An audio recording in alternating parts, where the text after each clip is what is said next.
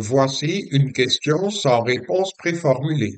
Dans la figure imprécise ci-dessous, le carré ABCD est de côté 120.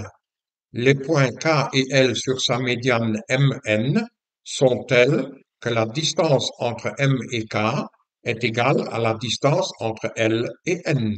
Question. Que vaut la distance entre M et K si l'aire de BLDK est égale à 1 cinquième de l'aire du carré?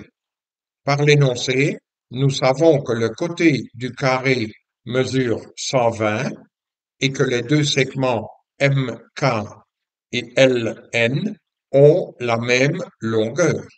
Ce que nous cherchons, c'est justement cette même longueur, appelons-la X.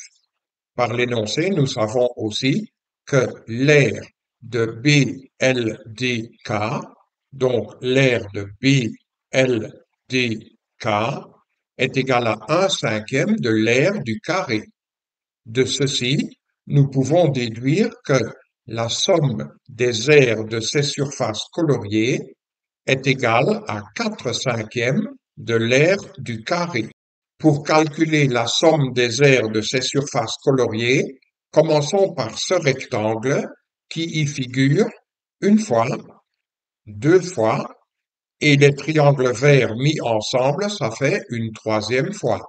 Donc, nous avons trois fois l'aire de ce rectangle, c'est-à-dire trois fois x fois 60. 3 fois x fois 60.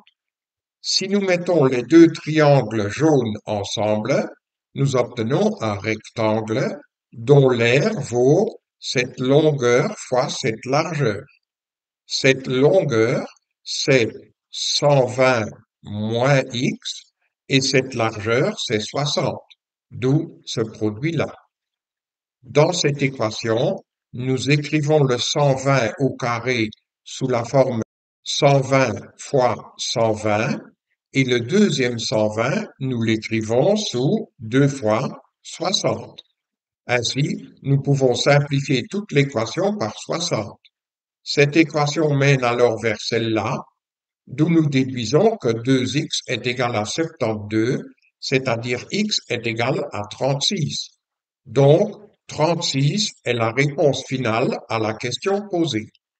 Lors du tutoriel suivant, nous allons répondre à une autre question de l'Olympiade mathématique.